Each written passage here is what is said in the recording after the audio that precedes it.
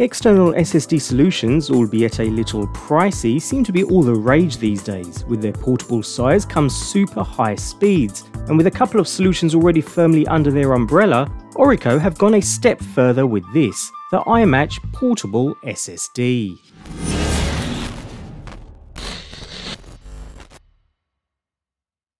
The Orico GV100, which we've previously taken a look at, was a great all-rounder, super portable yet super fast with its USB-C interface. If you weren't so keen on the design though, then the IV300 may be ideal.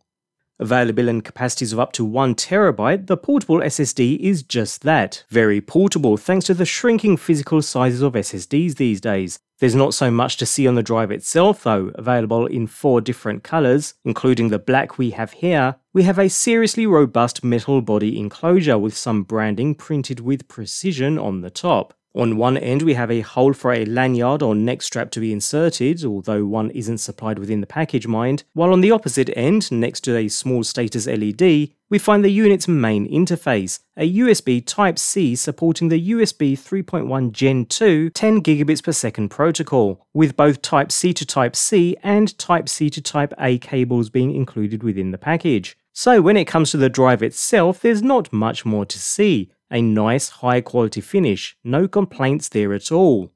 Compatible with both the Windows and Mac platforms, a test with the popular Blackmagic Disk Speed Test software shows some very respectable performance numbers too, very close to manufacturer stated, which is nice to see. Don't get me wrong, it's not the fastest drive I've seen, but speeds are very respectable indeed. Even after letting the test run for a while, although the drive did get a little warm to the touch, which is expected, the speeds remained rather consistent for lengthy periods of time. No issues there at all. Although as the cache fills with heavy usage, expect some slight drop in speed, something that's common among most drives of this nature, so nothing new to this unit.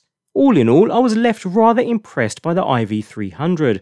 Build quality is solid with its stylish all-metal design protecting the SSD within, and talking of that internal SSD, it seems it's more than capable of the performance needed for 10 gigabits per second USB 3.2 Gen 2. It wasn't the best performance I've seen, but very respectable and more than adequate for data storage and even the more demanding 4K editing workflows. If you're after a compact and highly portable external USB-C based SSD, even for more demanding workflows, then you certainly won't be left disappointed with the iMatch series IV300.